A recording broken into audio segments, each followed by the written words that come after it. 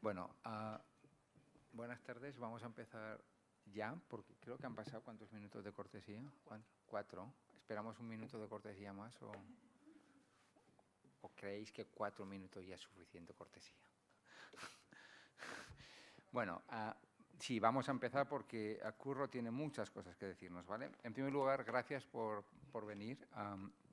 Siempre hemos reivindicado el hacer este tipo de sesiones y luego cuando las haces estamos poca gente, pero lo importante es lo que se dice siempre, la, importancia es la calidad, no la cantidad, ¿vale? Por tanto, ah, gracias por estar aquí y espero que sea una sesión productiva, informativa y que bueno, pueda, pueda ayudarnos a entender la complejidad un poco de todos estos temas. ¿no? Bueno, en primer lugar decir que este es el tercer workshop que se hace en la UPF sobre temas de género y sexualidad, sobre todo minorías sexuales, ¿vale? que se organiza desde el BACES y del Departamento de Ciencia Política. las, eh, básicamente las ediciones previas han sido online, por tanto esta es la primera que lo hacemos en vivo y en directo, lo cual es, yo creo que tiene un valor, valor un poco mayor. ¿vale? y aquí para el invitado que tenemos hoy es Curro Peña Gómez, que es doctor en Derecho Internacional y, Derecho de la Unión Europea por las universidades de Milán y de Málaga. Eh, ha elaborado una tesis doctoral básicamente que se centra en los derechos ah, de las personas LGTB en, solicitantes de asilo en la Unión Europea. Y sus principales áreas de investigación incluyen derecho internacional de refugiados, derechos humanos, en particular de las personas LGTBI, y las, y las políticas comunes de inmigración, asilo y control de fronteras en la Unión Europea. Ha, trabajado como consultor y trabaja eh, eh, de investigador en ILGA, a que ahora nos explicará exactamente en qué consiste, porque todos tenemos una vague idea de lo que es, pero creo que él nos puede dar alguna información un poco más precisa, que es una organización bueno, que está en más de 150 países y que lucha básicamente por los derechos del colectivo LGTBI, y también trabaja en distintas ONGs, proyectos, eh, proyectos y también con instituciones del Ministerio de Igualdad español, Consejo de Europa, etcétera, ¿no? y dirige un blog de divulgación jurídica en cuestiones LGTBI que se llama queerjurídico.es. Ya nos hablarás un poco también de este, de este blog, ¿vale? Y, ah, bueno, básicamente lo que nos viene a hablar de los proyectos de investigación que está llevando a cabo ah, en ILGA, ah, en ILGA World, ¿vale? Y también el impacto que tienen estos proyectos en la evaluación de las políticas públicas. Por tanto, agradecer a Curro su disposición desde el principio para venir a la UPF y, bueno, básicamente la estructura del acto tiene unos 45 minutos, 50 de presentación y luego lo interesante sería hacer un, un pequeño debate o, bueno, vamos a ver, una pequeña discusión sobre lo que, lo que nos traiga, ¿vale? Por tanto, gracias Curro y el, tiempo es, es tuyo. Bueno, pues muchas gracias por la presentación, por la invitación aquí, que le decía antes que nunca he estado en la Pompeu Fabra y la verdad me hace mucha ilusión y muchísimas gracias por venir, que yo sé que un jueves a las 3 de la tarde es un poco complicado, pero de verdad que, os agradezco que, hayáis venido. Bien, pues mi presentación de hoy, más bien un taller, porque sí que he planteado algunas cosillas para luego estimular un pelín el debate al final y además lo que quiero es enseñaros algo bastante práctico para que lo uséis en vuestro trabajo, sea en la academia, sea para un, TFG o también sea para el activismo o para vuestro trabajo futuro, lo que queráis. Eh, creo que puede ser bastante útil. Entonces, eh, sobre todo activismo, investigación y políticas públicas en materia LGTBI, que imagino que alguien estará pensando un arco iris para una exposición LGTBI, groundbreaking, pero creo que viene bastante bien para que nos metamos en el tema. ¿no? Mi objetivo de hoy, sobre todo, va a ser transmitiros esas herramientas que quiero presentar, de herramientas que hemos desarrollado desde la investigación en el activismo, que pueden servir, como digo, para todo tipo de investigación, pero también vemos cómo puede servir para influir en las políticas públicas desde, nuestra perspectiva activista. ¿no? Y al final eso, plantear algunos temas que son un poquito más, eh, digamos, dilemas o riesgos que me he encontrado yo al hacer este tipo de investigación. A lo mejor yo es que le doy muchas vueltas a las cosas, pero son como problemáticas más desde un punto de vista político que he visto a la hora de, trabajar en el activismo LGTBI ¿no? desde la investigación. Bien. La, eh, la presentación la he estructurado en cuatro puntos, podrían ser tres, pero me gustaba estéticamente cómo quedaban estos cuatro, así que en primer lugar, voy a hablar un poco de a qué me refiero con esa sinergia. ¿Sí?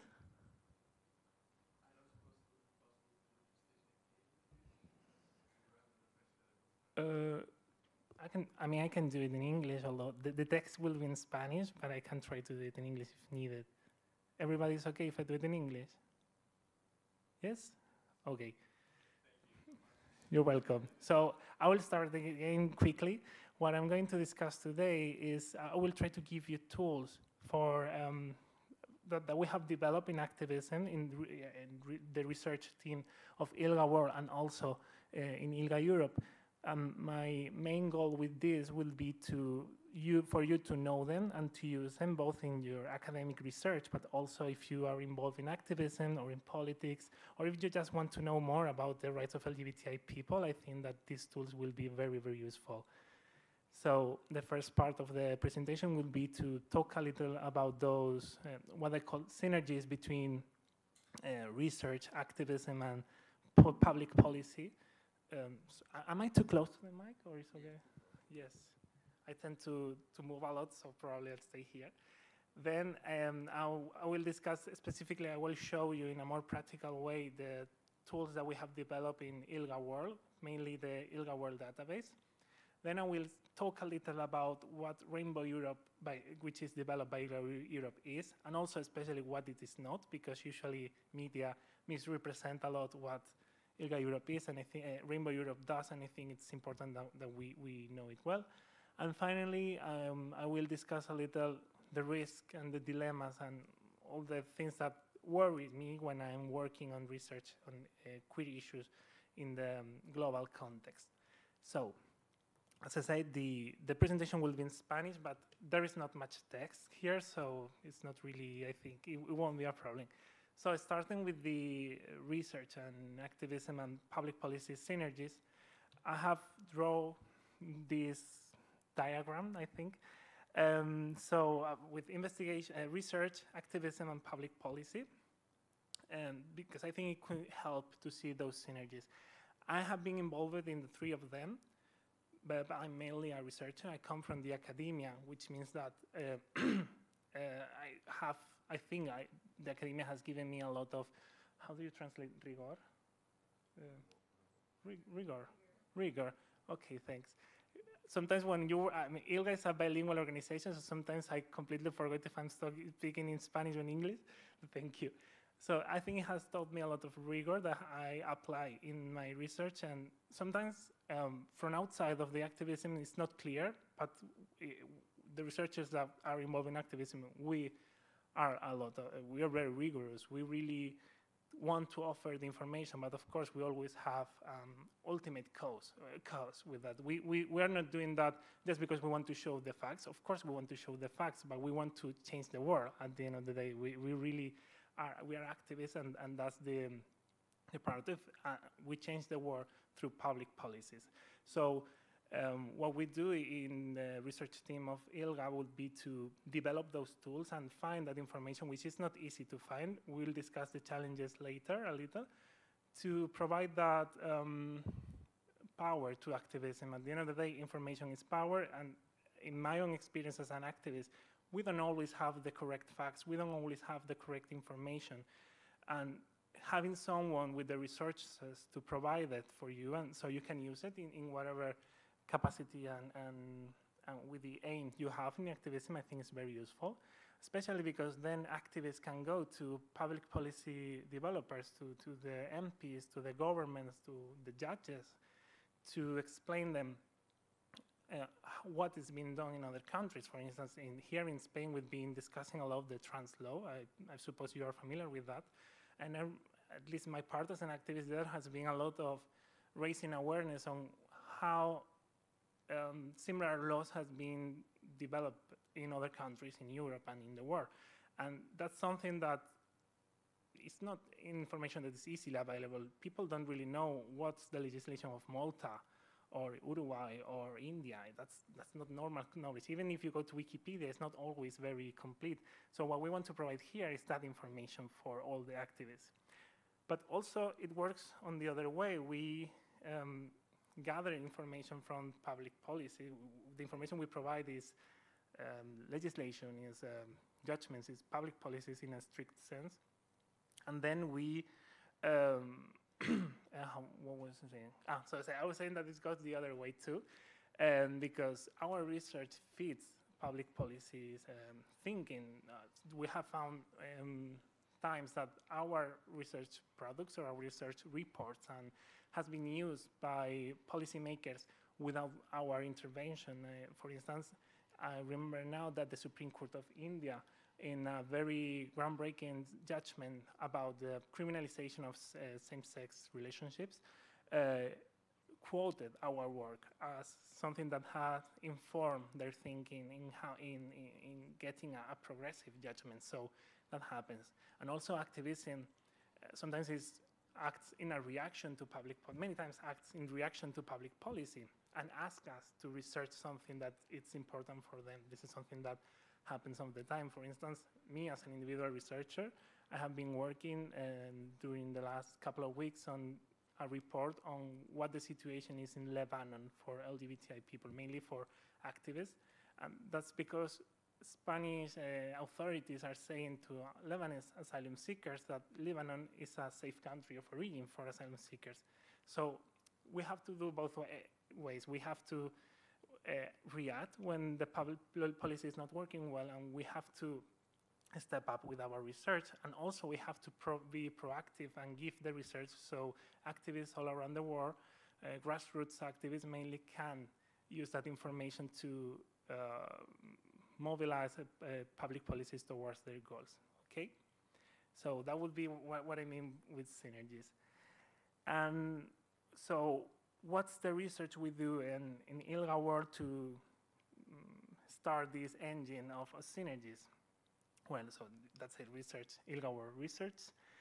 And mainly, well, I think before starting talking about the research that we're doing now, it will be good to understand that the research we've been doing so far, which is mainly these three reports, which are called state-sponsored homophobia, which is the most famous one of the reports that we have made. It's the one referenced by the Indian Supreme Court and other uh, instances around the world, the uh, Translegal Mapping Report and Curbing Deception. These three reports, the first one uh, started being very focused on legislation that criminalize um, same-sex acts between consenting adults, but then expanded towards um, other legislation related to sexual orientation, and this is important, just sexual orientation. We gather a lot of legislation from all around the world on uh, banning discrimination on grounds of sexual orientation, also aggravating hate crimes committed on sexual orientation, etc. Then on Translegal Mapping Report, we mainly worked on legal gender recognition, which if you're not familiar with the term, it means that it, we, we use it to refer to um, changing um, the, the mechanisms that are put in place to allow trans people to amend their personal documents so they reflect their gender identity. And also some of criminalization based on gender expression, we got it there too. And then we got curbing deception, which is good that we are doing this in English because I forgot the Spanish translation for, for the official Spanish name for that report, which is about conversion therapies. So we got these three reports each of them focus in a specific issue, and they work for a while. Uh, actually, this map here, which is from 2020, um, if you can see it, well, it's okay because we're not using this anymore, spoiler. So I just wanted to, to show it to you. It's uh, very complete in the sense that, or so, it, uh, so uh, we thought, because it included all the criminalizing countries, all in the same region and all the blue good countries protecting uh, LGBTI people, right? Uh, it included the red countries are those who criminalize, who are opposed to, to the rights of uh, mainly same-sex couples, and the blue ones are the ones who have some kind of protection uh, on grounds of sexual orientation. So we were using this map as a very comprehensive um, tool, but in truth it's not it doesn't include a lot of information that we need about our communities. It's only about sexual orientation, and, and I'm spoiling myself here because that was the other, the next, um, right. There were a lot of problems with this report. It was just about homophobia. It was only about sexual orientation, but what's going on with laws protecting against discrimination on gender identity, on gender expression, sex characteristics. It if you look at the map before, it was like very clear that there was a distinction between the global north and the global south that can feel it's stigmatizing sometimes and can and this is something that we will come back later about reinforcing narratives colonialist narratives etc so it was important that i mean the global north is not always that good. The global south is not always that bad. So that map before was problematic in itself and it wasn't in real time. I mean if we have to produce a report every year um, things happen very fast, specifically in, in LGBTI legislation, we see that there are explosions of uh, criminalization in the country or explosions or, or, laws that change the game for, for everybody in the country.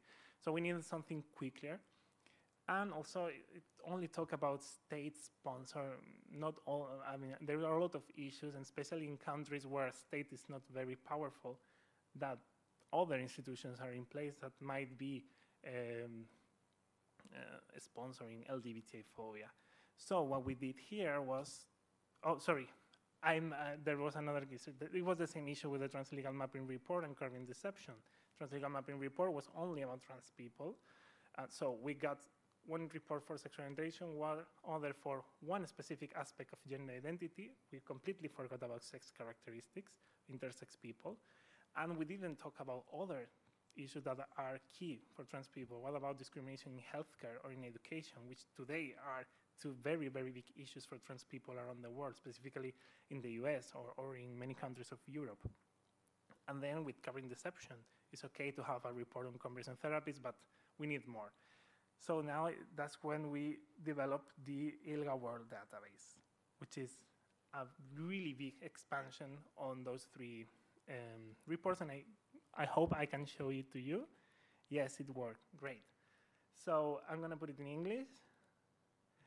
It's completely bilingual. We have it in Spanish and English, and we work a lot in having all the information in both languages. So um, I'm going to drink water. Hmm? And no, right now it's only in English and Spanish because that's our, those are the two official languages of ILGA. Well, I did. You asked me for to explain a little bit about ILGA, and I think this is a good moment. ILGA is a federation of around, I think we are already 1,500 organizations from all around the world. And our main languages of work and the official languages according to our statutes are Spanish and English. So that's why the, the database is in both languages, although the when we have the resources, we try to translate the, uh, our work in other languages. For instance, uh, our previous reports where the report was not translated, but the map was translated to French, Malay, Arabic, I think, many languages, but that's resource dependent. so, the ILGA World Database, as I said, um, is, is an expansion of all those reports. Here you can find not all the information you need, of course, but a lot of information on uh, many different issues. There are some videos here that I will not show you, but you can check them later. Um, but I can find the button. Sorry. Ah, here. About many different, it's not showing well in this computer, but here you'll have area one, which says legal frameworks in this area, we got all information from the other reports and more.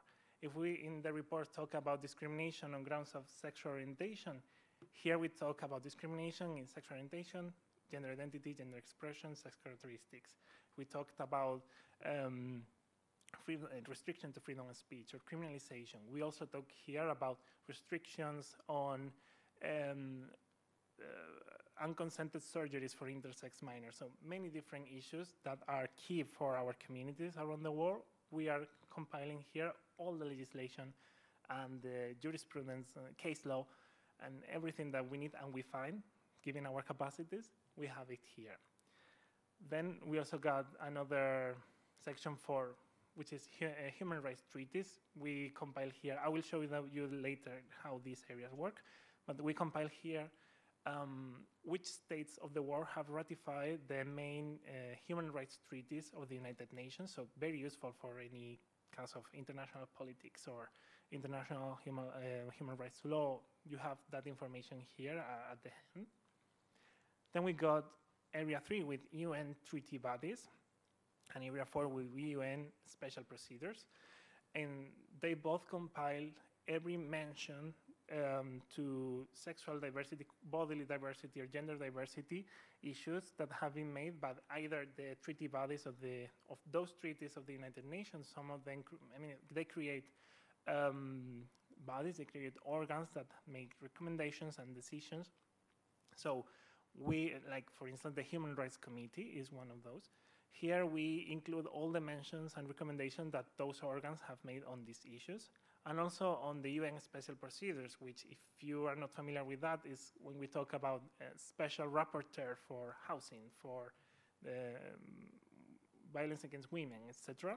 We have it here also, independent experts and working groups. All that information is here.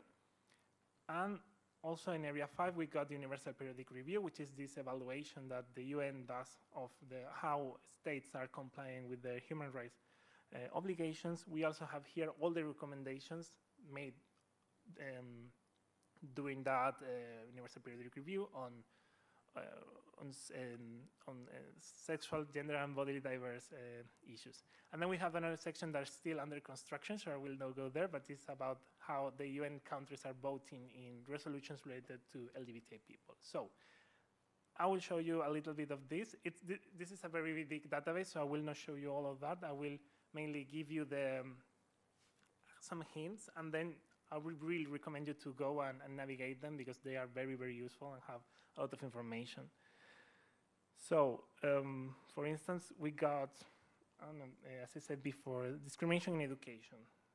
Before, we only have discrimination in general and only on sexual orientation grounds, but now we have protection against discrimination in education, and you can navigate the map uh, on grounds of sexual orientation, gender identity, and it will show you um, which countries of the world have legislation banning discrimination on grounds of gender identity. Uh, since this mm, workshop is more focused on Europe, there's also the possibility of choosing which region of the world you want to be um, focused on, in this case Europe. You can hover the map and see the year in, the year in which these countries, these uh, states started to protect against discrimination in gender identity, and of course there are many ways of um, uh, customizing the map in case you need to download it. But I think for me, the, the, most important, the most interesting part is a little bit below. Well, here we have the number of states that protect, etc. We got the explanation of the methodology and a list of updates of this particular issue around the world. Uh, some graphs that you might find useful to visualize what's the evolution of this issue in the world. But then you got um, a chart here that is loading with, uh, no, this one, with explanation of all of that. And this, I think, is the key part, and this is where we work the most, because this is actually hard to compile, but I think it's the most useful part. When I was doing my PhD, I think this could have been a game changer completely for me. First, because uh, here we have a lot of explanation on what specific legislation of the country, what is, is, it about. For instance, in the case of Albania, we got here, it says that Article 5 of the Protection from Discrimination Law bans discrimination, etc. We say the specific article, we say what the um, uh, characteristic, we got sexual orientation here. I can't, no, uh, here it is. You can also gender identity, etc. And what is the most interesting for me is that we have the source you can go to the specific law that you need and just open it. And we have all of them uh, stored in our own repository. So um, usually we try to we, we, try to find translations of the text, but it's not always possible. In this case, many European countries there are translations that are in the Council of Europe or in the Venice Commission. They do translations. Usually, they are in the original language but you have the source here. So we offer a little bit of information in the explanation, and then anybody who is interested can go and, and go here. I mean, when I was looking at legislation on asylum around Europe or on discrimination mainly, this could have been very, very useful because otherwise you have to look into Google all the time and, and it's not easy at all. You can also just look at European uh, or, or, whatever group that you want. We got both regional uh, geographical uh, classification, but also more geopolitical ones. We got in, uh, international organizations such as the Council of Europe, but you can also sort by the G7 or many, many different organizations. So this can, if you are trying to go like um, very, very surgically chosen investigation, just focusing on some region, the Balkans or wherever, you can use this uh, this chart, and you will really find a lot of information to to kickstart your your research. No, so I think it's very very useful. And actually, I use this a lot in my research outside of ILGA. I said before that I had to do um, some research on Lebanon. I also have to do some research on Georgia. And I used a lot of this database, not only this part of legislation, but especially the part about the United Nations. For instance, if you go to special procedures, I don't know if any of you have ever do some work with uh, documents from the United Nations, but sometimes it can be really a nightmare. I, I, was going to say something less polite, so I was trying to choose the, the correct word, but it can be a nightmare. It's very hard to navigate the website of the United Nations. Mm, documents disappear all the time. You're always led to very dead ends. So here in the, it doesn't happen with ILGA. We have really worked in, in avoiding that. Because what we do here, first we got a map where you can hover over the countries. Again, let's focus on, on Europe, which is the point of this workshop. Um, and you can see how many mentions to LGBT issues has been done in, in a, not loading, but I will explain, I will describe it to you, what you should be seeing. You can hover over the countries and you will see the number of mentions that, for instance, the independent expert on migration, the special rapporteur on migration, for instance, have done on, on subject issues concerning that specific country. This is not loading. I will go to the next part.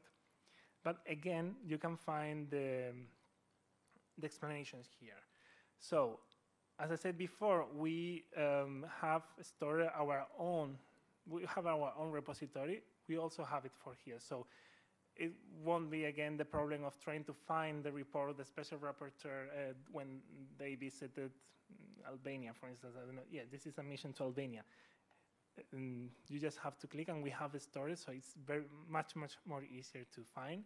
We also have the specific quote here um, and the specific reference. And you can also, this is something that if you have been already working on your um, final um, dissertation for, for the degree or for the master, you will find this very useful. You, there is a button here that you click it and the entry is copied with a, a reference. So it's, we are trying to be useful. All the time our main focus is to be useful to everybody. So this is very and also you can be useful to us because we, you know, if you see, I don't know if you see it well, but yes, you can see it. Uh, besides this button, which is to copy the reference, you got another with comments. We really like comments, and we really, especially, we like to be told uh, what is not correct. We love corrections because this is a very big work, so there are mistakes. Not all, mainly, maybe not in this part because this is copying from the United Nations, but in the other part. So if you ever see something that is not really well or you are dubious about it, just write us, uh, and I will review it very happily. And, and also, you can sort all the, I'm going to change from Albania. I don't want to, to put Albania on the spotlight all the time, but Algeria, um, which is the next one. But also you can sort by uh, topics. We got tags for every single topic, so you can I don't know if you're interested in hate crimes and you see everything that has been going on in the special procedures of the United Nations concerning hate crimes. Um, again, a lot of sources, so this is something that you can customize for your needs, and I think it's very, very useful. And um, to finish with this part, uh, as I said, I really recommend you to go and, and play with it. I, I find it very deep, fun to, to use sometimes, maybe because I'm a nerd, but I really I really enjoy doing this, so I really recommend you to do it. Um, there's also the option instead of by topic or by area, you can go by jurisdiction. Um, for instance, I don't know, just click whatever Germany, Um, and you can see, oh, something I forgot to say, that we also have information about the sub-regional level. If, if you go, I will show you because I think that's really cool. If you go to, for instance, I don't know, discrimination in healthcare, um, if you go to, for instance, a country like Spain, which is more complex, you can find uh, what's the situation in the specific, uh, in this case, autonomous community and mm, where, where there is no protections to have a little bit more of nuance. And we, you can also do this not only with Spain, but uh, many, not all the federations of the world have this yet. We are working on that. But for instance, if you want to see uh, Argentina or the United States or uh, Australia, Austria, also um, we got the prefectures of Japan and the provinces of Philippines. So we're trying to, to cover as much as we can. So you can go to, to, to that level. And as I said before, we, you can also look by jurisdictions. For instance, we go to France. Um, we got um, as uh, yeah, we have here a um, collection of the latest news concerning uh, France because all of the information here in the database, we got it from another tool that we have, which is a monitor of mm, around, around 50,000, 15,000 sources from around the world, mainly media sources, but also academic sources, government sources. And we mm, use that, uh, we have a team looking for entries that affect legal developments, and we put it here. But I will go fast here. As I can say, you can see in a, a, just a snapshot of what's going on in that country, what is the legislation there. So if you really need something quick, some information about it, you can go here, you get explanations, and I think it's pretty cool to be honest. So uh, moving on to, to the next part. So that's the database. I hope you enjoyed it. Uh, we've been working so hard for some years in that, so I'm, I'm glad I can get to show it to you, and I think it's going to be really useful for you.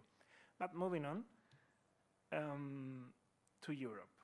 So that's the main tool that we have developed in ILGA World, but also ILGA Europe, which is, we are part of the same family, but they have them, their own research team and they have their own work. They, just last week or some days ago, they released their own, uh, the, the, new edition of Rainbow Europe, which is, I was, I will explain it, is, is uh, um, a project with mm, a lot of very interesting information. I'm sure you probably have seen this map maybe on social media because it has been everywhere. This is the map and ranking of the latest edition. We'll go later to the map again, but uh, I just wanted to, to see your faces and see if you have seen this. I think you did, so great. Um, but what worries me, and this is the only, mm, probably the only one with a lot of text in, in the whole presentation, what worries me is that I usually think people don't really understand what this uh, map is about. Um, so Rainbow Europe is a package of research, of, of, uh, of information. ILGA Europe produces both the Rainbow Map and Index, which is what you've seen before, and also an annual review, which is a report on um, political and social developments that have been really important for that specific European country over the last year. So it's like a lot of information, in, um, but usually people, for some reason, see it in another way. Um, uh, the, what the both what the Rainbow Map and Index is about is about legislation and public policy. I will, and but and also the annual review, as I say, is about uh, key developments in social and politics, and also there are recommendations to states. But what is really interesting here is what it is not, and this is what people usually get wrong it's not a survey on social attitudes. It's not, when you see that map, people tend to say, oh, but why this country that is very open has this really low uh, score? Or why this country that is very uh, hostile to LGBT people has the same score as these others? It's not also uh, about anti-LGBT violence, and it's not about how this legislation is applied in practice. It's about legislation, which is the same as the ILGA World. I mean, when you are um, looking at everything from I mean, I, usually see ILGA world. We are like an off, uh, uh, you know, like a UFO. We are flying over the world and we see something, but we can go to the detail. That's why we have to cooperate all the time with, with LGBT organizations. The same with ILGA Europe. You can, databases are always limited and, and reports are always limited in themselves. But it's important to know that this is about legislation and public policy. Um, so that's why, and I come back, uh, I will come back to the map later. So how do they elaborate this map? They, there are a lot of uh, indicators. In this case, I have chosen one, which is equality and non-discrimination. And they see what this, the legislation of this country and the public policies provide for. There is, there is a ban on discrimination on employment, check, check, check. And then they give uh, a value to, the, to, to each of those uh, indicators and then give a, that's what gives the full score. And when they have the full score of all the countries of Europe, they have again the map and the ranking, which is here, I think, yes, you can see it. Here is the ranking, and the map is ordered with the ranking. So sometimes people all, I mean, at least always ask me, but why is Hungary uh, higher than Italy when Hungary is, I mean, now we can't say that anymore because the Italian government is quite hostile to LGBT people. Usually that's asked, or why is Andorra so low? I can go to Andorra with my partner and I have no problem because Andorra is not approving enough legislation to protect LGBTI people. And so when you look at this map, my main goal with this slide and explaining this is that you know this is about legislation and public policy, which is a very important issue, but it's not all. Where the LGBTI people, we don't, our lives are not only explained by legislation. There are a lot of other um, issues affecting the, the realities for LGBTI people. But it's, in itself, is very useful for that, okay? So I, I just wanted to refer that. And we can, I mean, I have been showing you the maps from ILGA World because that, those are the ones that work the most. We can also talk about those maps and this map later, but now I think, I think it's the same. Yes, this is the, the one that I really want to, to go into. What time is it? Great. Because, as I said before, when I've been doing research on these issues, I've seen mm, I don't know, risk. I call this risk and dilemmas, and there is a, a bot because it's navigating the, the risk and dilemma, which is the most, the corniest metaphor I could come up, but I could have been worse. Sorry for that. So these are issues that I've been uh, thinking about when I've been doing research. Uh, you know, uh, maybe I over problematize things. I don't know. Maybe it's because I come from the academia, or maybe because I'm just paranoid. But I start thinking, hey, how the way we portray our results can affect um, our communities, can, how can it affect the narratives that are going on all the time, both within, uh, inside the countries, but also in the world and in Europe. So I tried to, I, I, thought it was interesting to bring you these doubts because I don't really have an answer for many of the things that I, am going to explain, to talk about here, but I think it's interesting that we have them in mind when we research on, on LGBTI issues. First of all is rigor and veracity and truthness. Um, so this is something that it's normal in, in any, when you're trying to do something serious and you are worried that the results that you are showing are correct and, and are going and are facts, are fact-based. But as I said before, we compile our information from mm, thousands of sources, so we end up having a lot of fake news, a lot. For instance, I remember some weeks ago, my team, because I coordinate the monitoring team at ILGA, um, my team was saying, hey, uh, we found this entry saying that Moldova has approved same-sex marriage. And I was like, I don't think that's true, but let's see it. And of course it didn't. It's just that in many countries, especially when they're trying to portray a negative image of a new law, if this law is about the slightest development for LGBTI issues, or even uh, any kind of gender equality issue. For instance, I'm thinking now about the Istanbul Convention. Many countries are saying that the Istanbul Convention will legalize same-sex marriage, which it doesn't. It's about uh, violence against women.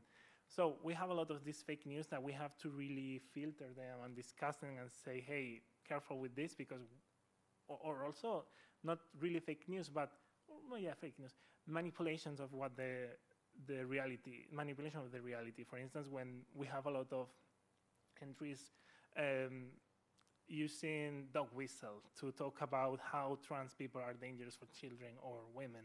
So sometimes it's hard to, to detect them because, I mean, I have experience in that, especially in Spanish media, in, in median Spanish, sorry, median English, but when you have an entry from, I don't know, Bulgaria in a language that we don't speak, sometimes we don't even know if the translation is exactly what, um, what we, the, the, problem is the translation or the problem is the content. So, uh, and, and usually European languages can be translated with uh, automatic translation, but when we have sources from, um, I don't know, Egypt or Bangladesh or countries with an alphabet that is not the Latin one, usually Google Translate and DeepL start working very, very badly. I'm starting to use ChatGPT for that, which is not that bad to translate. So uh, I, there's some hope there. But now what we try to do is to have uh, as much diverse of a team as we can. We got people who speak Arabic, people who speak Chinese, uh, French, Spanish, English, and of the six languages of the United Nations, we're still missing someone who speaks Russian. We had someone until recently, but we try to have these different, um, not only because of the languages, of course, but because of the background. I mean, in our team right now, we got people from Spain, in my case, but also from Malaysia, China, Morocco, uh, Guatemala, Argentina, and Colombia. So we try to have also knowledge about very, very different uh, legal systems around the world because, I mean, usually European systems can be more or less comparable. I mean, if I see a judgment by the Supreme Court of, I don't know, um, the, Constitu the, Constitutional Court of Hungary, I can more or less understand what the legal value of a judgment by the Constitutional Court of Hungary has. But if I see a fatwa from a religious authority in Malaysia, I have no idea. I don't really know, is this a legal development at all? It's like, so we got someone from Malaysia that has worked a lot on saying, hey, this is important for this, for this, for that. So having a diverse background is important both for languages and to understand what you're talking about. Uh, but sometimes, I mean, we can have a team of 200 people from all around the world. So we have to rely also on local informants. I call it local informant, but that sounds weird. It sounds like we have spies all over the world. I mean, not really, we wish, but what we have is people from grassroots organizations that we are in contact with and that they explain us, hey, this that you have written here is not correct. Or uh, we reach to them and say, hey, what's going on with this? Um, for instance, I've been in talks with activists from Japan, Dominican Republic, um, that I'm uh, a lot. Also, sometimes I reach to politicians because who knows if they are proposing a bill that we see that might be good. I ask them to so they can send me the full text or they can explain it. I've been talking a lot with an MP from Cyprus for this. So we try to rely on, of course, usually we tend to, we want to favor the views of the NGOs that are the members of ILGA, we are a federation, but also because we, as I said before, we are researchers um, with an activist uh, focus. That doesn't mean that we're not going to be rigorous. We say, according to specific organization, we, we, we don't uh, critically repeat what they say, but I think it's important to have the reviews in, in, the research because at the end of the day, as I said before, we want to be useful. We want uh, the activism to uh, local activism to use our research and to find it useful for their goals, not to be against their goals, which is what I, we're going to discuss now when we talk about how this research can reinforce, I say, undesirable narratives to be very broad, but I think uh, it's interesting that we go there. This is this is where I say that I maybe maybe am paranoid. I don't think so. I think there is something interesting here that some reflection that we from activism, especially from global activism, have to, to take into account. It's how the way we portray the information can, as I said before, um, reinforce the inequalities between the north, global north and the global south by reinforcing narratives such as I said before, the, the previous map that we have, it was very clear that the red, bad, Africa, blue, good, Europe. It was very clear that that's not working. Um, so we have to be careful in the way we portray it. Now with the database, what we do is, hey, we're talking about criminalization, so we are going to color the countries that have criminalization. That's a fact. We cannot go in, against that. But when we talk about, uh, I don't know, discrimination in, in education, we're going to highlight the countries that have it, which is not, not only the, the European countries. That's not true. And, and in fact, there are some issues where Latin American countries have gone way beyond what the European countries have done, and they did it before. Uh, the, the most um, known case probably is legal gender recognition. Argentina was the pioneer in the war on, on allowing self, uh, LD, uh, legal gender recognition mechanism based on self-determination, like we in 2023 have adopted in Spain. So um, we need to really um, be careful with how we portray the information to not give um, to not yeah to not give a, a, a, misrepresentation of what the global efforts towards LGBTI rights are, and also because we can have um, I call it fake um, feeling of satisfaction, right? This is something that I see in Spain now uh, when we see our new trans law, and now I'm talking from the grassroots activist perspective. I don't think it's that good. I mean, we can we could have gone way beyond what we've done. In legal gender recognition, there are issues that can be improved, but in other issues, we did nothing. I, I mainly collaborate with, I work in, in an NGO uh, against conversion therapies, the Spanish Association Against Conversion Therapies, No es Terapia, and we know that uh, nothing that we ask for has been done. Uh, yeah, it, there have been bans, but that's not enough. We need a way more. They're not even defined in the law, so we don't know what's the, the thing that has been banned. So if we just see, look at Rainbow Europe or the ILGA World Database, and we go to Spain, and conversion therapies will say, check.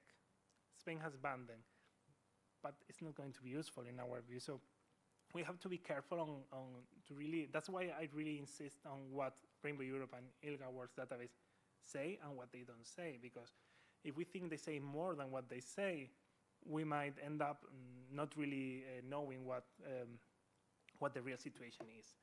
And also, I think sometimes um, this is very related to the global north against global south um, narrative, Orientalism. Sometimes I feel like uh, in, in, Europe in particular, we got a view of how we got, there's an ongoing narrative on how the Western Europe is this civilized and pro-LGBTI region of the world, while Eastern Europe, particularly Russia, is uncivilized, is so, I mean, we can criticize the politics of the Russian government without falling into essentialist and orientalist uh, views of the world, right? So this is, I think, something that we have to take into account when we work on, on, on these issues. And also, of course, we have to be careful about, um, uh, because when ILGA World says this is what happens in this issue, it takes all the attention and other issues that we don't cover because we may not have the capacity. For instance, we don't have now the resources to talk about asylum.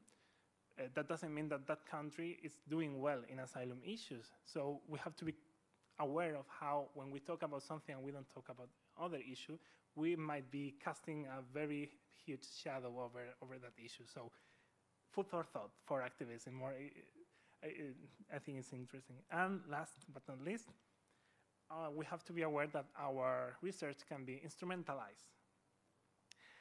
Um, I have mentioned here the cases of homonationalism and hetero straight nationalism. Heteronationalism, I don't know if you use that word in English. I don't know if you're familiar with this concept, but homonationalism is when um, LGBTI rights are weaponized to, for instance, hmm, it's hard to explain it now in English, now that I think about it for me, because I have it prepared in Spanish, but okay, yeah. For instance, um, we've seen this right now a lot in Europe. I was talking about before the Orientalism issue of saying that Eastern Europe is essentially anti-LGBTI.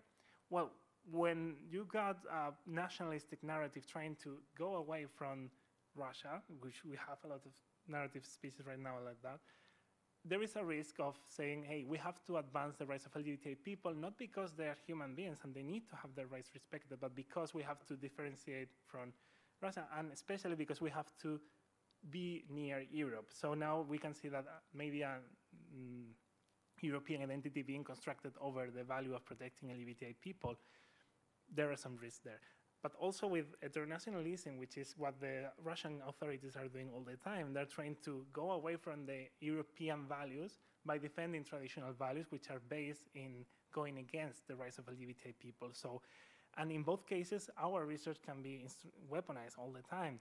Um, we can say, hey, this country is really doing badly in Rainbow Europe, so we really shouldn't uh, that's because they are not Europeans, etc. But also you can say, hey, this country is doing very well. These organizations are saying us what we have to do. That's not.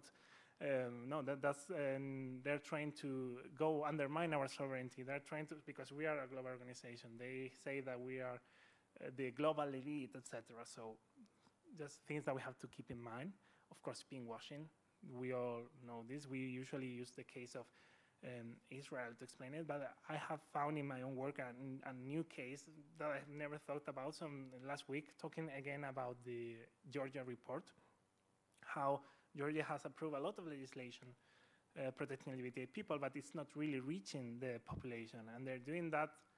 Uh, one on an homo-nationalistic rhetoric to say, "Hey, we are European," but then they don't really apply it in practice, and also as a pinkwashing for what the government does, because the, the, the, prime minister was two weeks ago discussing in a forum in Hungary how LGBT propaganda is trying to destroy the institution, the civilization and the institution, blah blah, blah, and all the usual. Mm, I was going to say another unpolite word, sorry.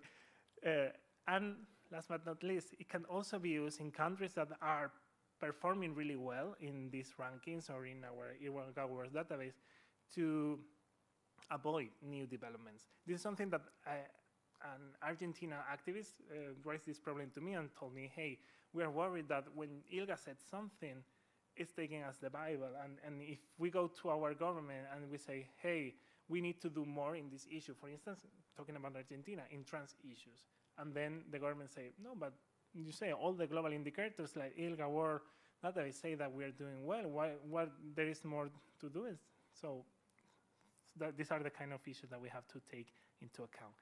And now I will just say gracias or thank you because it, was in English at the end. And you have my contacts here, and thank you so much for listening to me.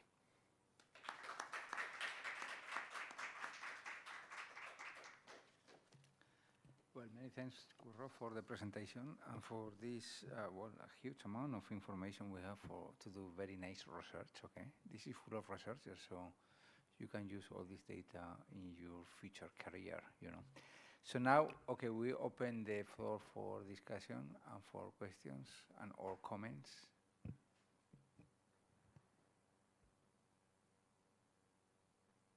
Well, I, I will start uh, uh, because you have presented so much information about so many different things, although in a very quick fashion, you know.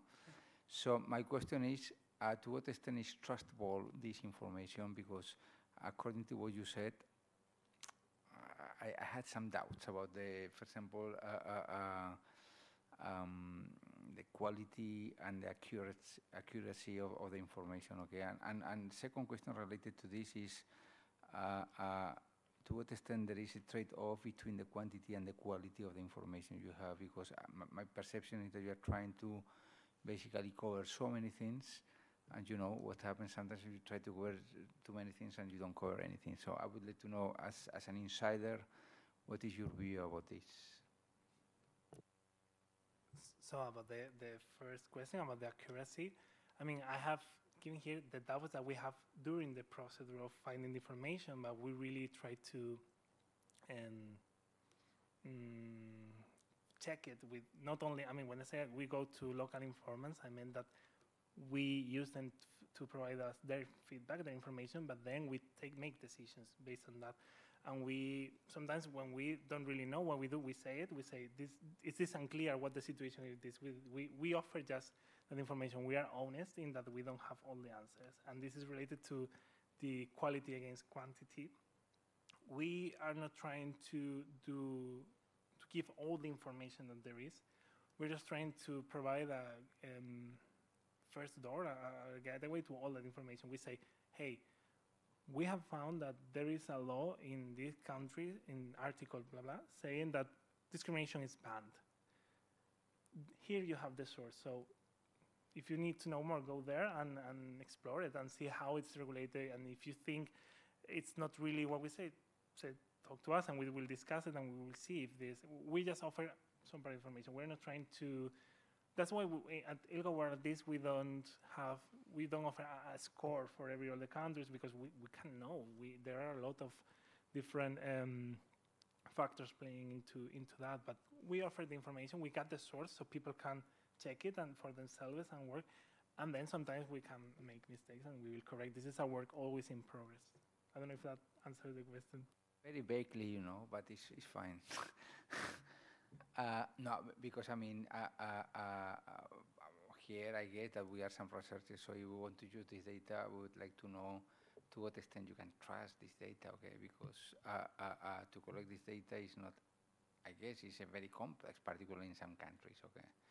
And, and also when, when, whenever I think there is an action here that the more people are involved in, in, into a, a project like this, the more diversity is also in the data collection, in the way you process the data, and, and all these uh, important issues, okay?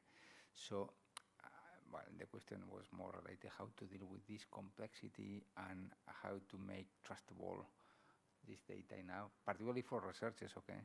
But in any case, I mean, I know this is a difficult question because you need to have complete information about so many colleagues you will have in ILGA, and and that's that's difficult. Okay. Um, not that many. I mean, we're actually not a big team. we are like uh, right now eight people, and we got a supervisor. I mean, I'm not even the the high. I, I coordinate the monitoring process, but we got a supervisor who checks all of that, review it, and as I said, we find information through a lot of sources and we discuss it, we contrast it, we do a full research process with that. It's not that just we find something and we put it on the database. There is weeks of, of work on that involved. But I don't know what you mean.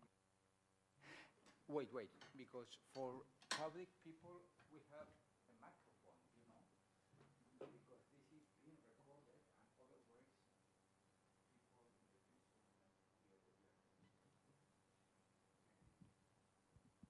Uh, well, thank you. Uh, my name is Fernanda Fortes de Lena. Uh, I'm a postdoc at the Center for Demographic Studies here in Barcelona.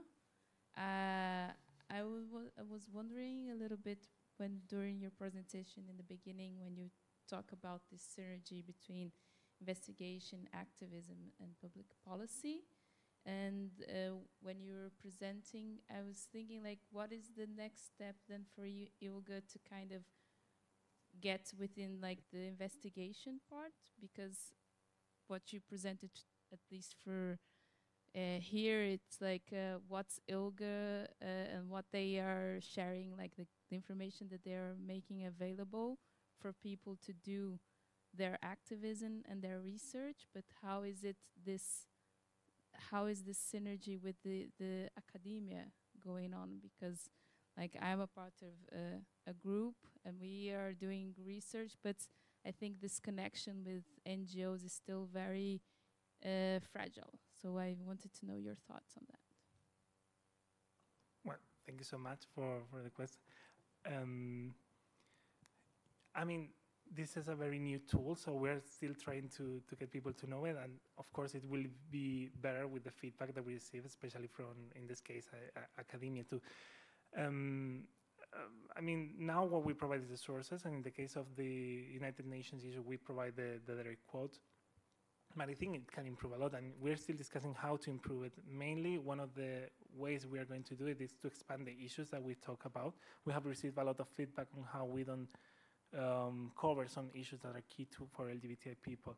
But also, we are going to keep releasing reports. I have not presented everything. There, we have another report that is maybe not for academia, but it's very useful in, especially in asylum and public uh, and, and asylum um, day-to-day work, which is a report on all the cases that we have managed to track of criminalization, specific uh, enforcement of criminalizing laws. And then we are also going to uh, produce another report on all the new legal developments that we have tracked, be it bills or laws. How can it be specifically improved towards um, academic research? I don't have an answer yet, but I can tell that these are the things that we have in, in mind. And I think this kind of events can be useful because I can gather that feedback. I'm always open to receive all the comments, and so whatever idea you might have on how this can be useful to you, it, it will be great to, to have. I don't know if that answered the question. Uh, hey, my name is Edwin Trujillo. I'm from Bogota, Colombia. I'm making a master in international relations. And I have two questions. One is, um, uh, well, the first one is not a question. It's like um, a comment. Uh, I feel like um, the tool that you have it that shows a different development in the countryside on the small cities in the country is like a it's like a good tool because personal I, I, I see like in the big cities the perception of LGBT friendly or freedom or whatever is more higher than in the small cities and the countryside. So I think it's it's something that you have to improve you didn't have it in the countries like South America or whatever because the perception of, of, of friendly and freedom of speech and whatever is completely different in a city like Bogota, like another in the coast or in the middle of the country. So it's different. Um, this is the question is like, uh, do, you have? I see some cities like Amsterdam and Barcelona, uh, and I've been traveling here like a, a lot of time ago, and I used to see like these cities, those cities like um, paradise for LGBT people. But lately, I I feeling like a, it's like a kind of back back going back a little bit in some issues. I don't know if if it happened because it's a lot of people immigrants with a very Thai or very uh, conservative uh, religious or something like that. But for example, in some places like in Amsterdam, it's extremely that you cannot walk in holding your hand because it's it's pretty dangerous right now. So I don't know if you are really making some research about it. What is the main cause or what is this? How we can deal with that? Like in the cities, like used to be like a paradise, is not a paradise anymore. and thank you for your comments. About the first one, well, we don't go to that much level of detail. We don't go to the detail of the city. As I said before, we are a little bit hovering over, over the world. So we go to the state level and then the very first sub-regional, uh, sub-state level. Um, but we, I mean, as I said, we are trying to be useful for the grassroots organizations, so the organizations can develop over that and, and also on the local level, but we don't cover that. As for the second part, I would say that probably those cities weren't a paradise for everybody before. So I don't think they never were a paradise for a lot of people. And I don't think it's the if we can find some kind of setback on the rights of LGBTI people in Western Europe, I don't think we have to look at the uh, anybody in the community, but a bit over that uh, about the as I said, th- those narratives that are flying around Europe right now and are permeating our policy. For instance, the, the trans law in Spain was a very good example of that. There were a lot of uh, um, backlash against it from way from um, places that we didn't have it before. We thought that it was before, but that's not something that's only happened in Spain. Tho- Those narratives are going anti-gender narratives or anti-trans people narratives are moving all around Europe. So it's not something that we can find on the street or anything. I, I think all of us are uh, way below the level of, of where those problems are stemming from. I think.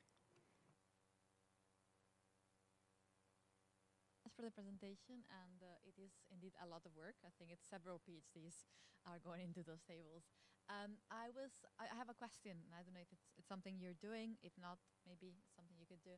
It has to do with. Um, I found it very interesting when you talked about whether legislation is or not applied or enforced in a country, right? You, you put the example of Georgia, and it, it is always an issue with, when you think about legislation, to what extent this translates into reality, right?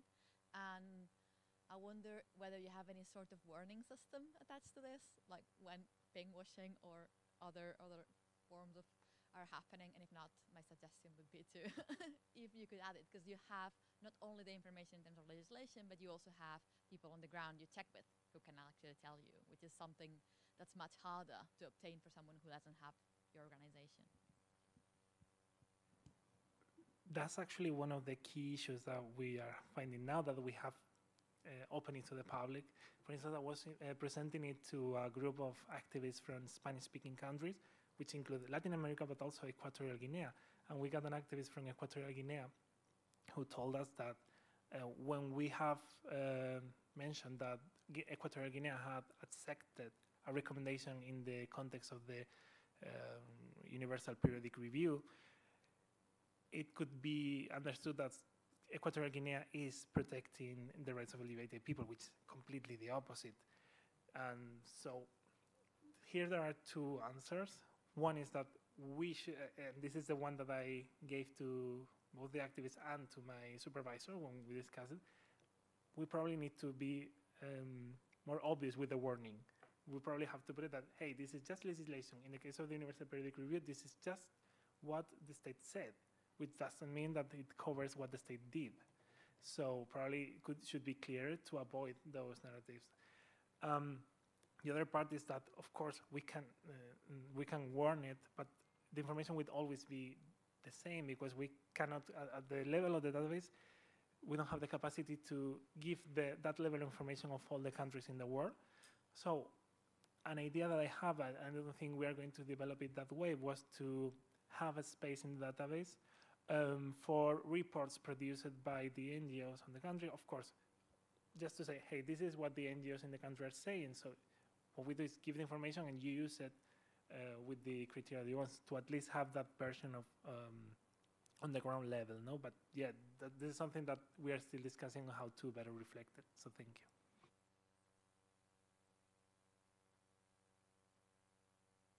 Okay. Um, thank you very much. I'm gonna check that database for sure. I'm actually gonna do that tomorrow, probably. Um, so I was wondering. I mean, it was close to Alva's and Fer's um, questions about like this relation to the kind of like lived experiences uh, part of of like I, I'm missing kind of like that side. So I'm wondering how me, for example, or, or us as a project um, could develop studies that could like help to use this tool and like reconnect. For example, I'm thinking about I'm Argentinian, so um, a lot of the gender identity law and that. I, I mean, I love it in the paper; it's beautiful, and then the actual lived experiences of of like we queer individuals is quite different from what what's there. Um, so I've been thinking a lot about this, and I'm like really hoping for the census data to come out uh, soon, so I can like get into that. Um, but yeah, I mean, I was wondering if you have like any sort of like ideas or projects that you know about that work more on the lived experiences part, uh, like related to um, this information. Thank you. So um, even if I didn't get into it, I think I mentioned it. We got a monitor of that. Right now, the monitor is not open to public, but I think if you write me, we can find a way. I think I will ask my supervisor. I think he told me that we can open it to some kind of research. There, what we have is bulk of data of, of all the media that we have. So we cannot review all of that. Uh, we do. We review. There is a human part of review, but not in saying this is correct, this is not. We say this is the tractionary, this is about this issue, but we don't discriminate, we don't classify it. So we just have it and then we review it later for the database. This is previous to the database. There, there are reports by uh, grassroots organization that when they can, they go into that kind of detail. But right now, we don't have plans of talking about that in the database. Maybe, as I said before, we thought about um, highlighting those reports just so people can have that part of the story too. But right now, we really wanted to focus on, legislation, even if we knew that that's just one part of the story. All that I have explained today is just one part of the story. That that's why I wanted to include all the later slides to discuss about when we just talk about this part of the story, we might miss other and we have might reinforce very problematic thinking. So mm, just uh, as a food for thought, but I think yeah, we will try to find a way of highlighting also that part. More questions or points to make? No.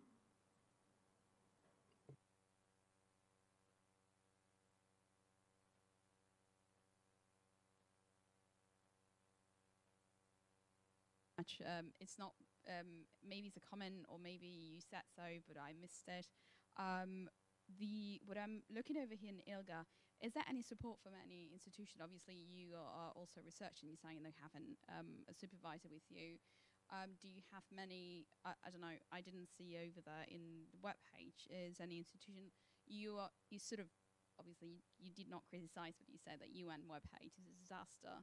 Um, do you think that um, having these uh, partnerships with different institutions could also help you in regard not just having a database, which is great. I mean, a lot of people do that, and it's very um, important to have legislation, but also like um, statistical facts. For example, you, you were commenting on that that you have all the database on uh, jurisdiction, um, um, uh, legal stuff. But uh, would you think that expanding to also statistical um, facts, like for example in Spain, um, it's something that we had, I think, a couple of, of months ago. It is one of the best um, legislative countries um, against LGBT phobia, or you know, um, all of that. But at the same time, has the highest um, um, uh, LGBTQ plus uh, related crimes as well. So maybe, obviously, it's a great thing having a database, but what about also having um, these things in order to say it is this legislation, but at the same time, you can find yourself that it's not a safe country because obviously, looking at the maps, you can say, "Why it's a fantastic country," but then you say, "In uh, well, it has the highest rates as well." So um, I don't know if it's been said or I missed that, but um, do you have this um, idea of expansion in order to have um, a, a, a, rather complete um, database that you can compare? And this is one the second one, and the first one either if you have uh, an um, institutions backing up or supporting your this project, obviously. Mm, at the moment, I don't, we are not uh, at that point of discussing mainly including statistical data. Of course, that would be amazing. I mean, it's something that uh, I will discuss it with my supervisor to see what ideas does he have on that. We developed this focus on the legislation to, to offer that part, but definitely it could be very interesting to partner with universities and uh, centers of studies that, that working on that because that could offer a much more complete um, view of, of, everything.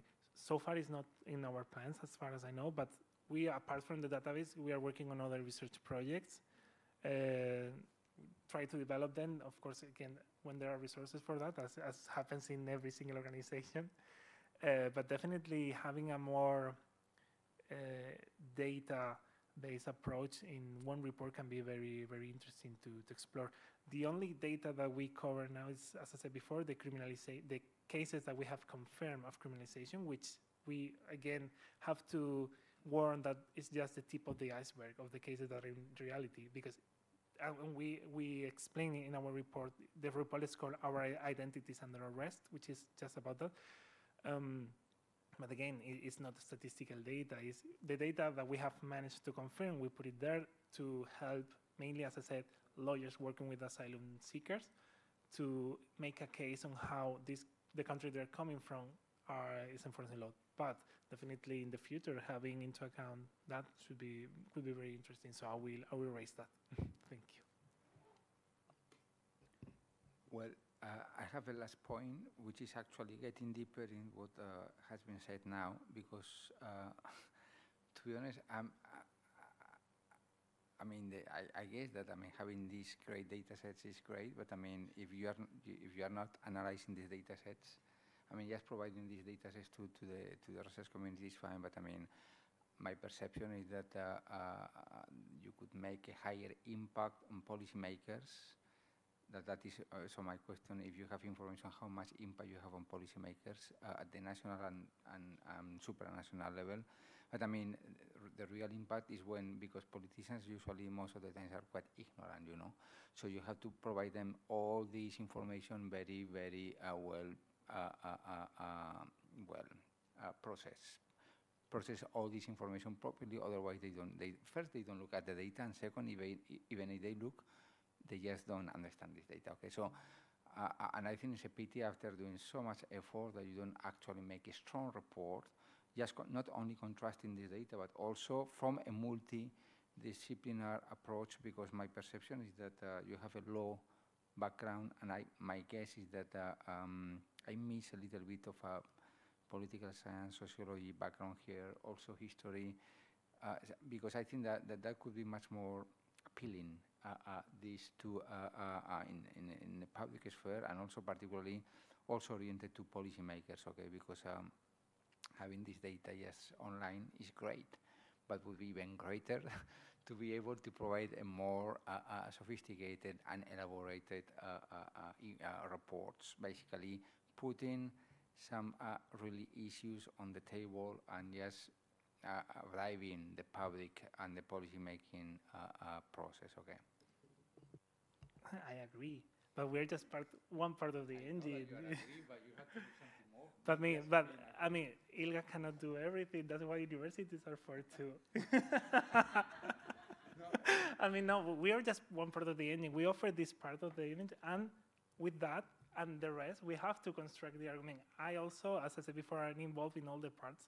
So when I do something for lobby, for um, I mean, I've been the impact that ILGA have. I've been invited to developing policies in the government and, in the Council of Europe. My partners and my colleagues in the UN team also work all day on that. But we're just one part of the engine, and we cannot substitute what uh, local activism does. So we offer this, and with this, the rest have to do. I mean, it's, it's that we offer one part of the work, just one part of the work. I'm sorry, we cannot do all, but um, definitely, I think uh, by collaborating with institutions could be uh, a great way of having the most complete picture. But then when we go to, I mean, as an activist now, not as part of the ILGA, when I go to uh, the institutions, I not only go with the database and say, hey, click here and you'll see everything. I go with information and then I will go for another information.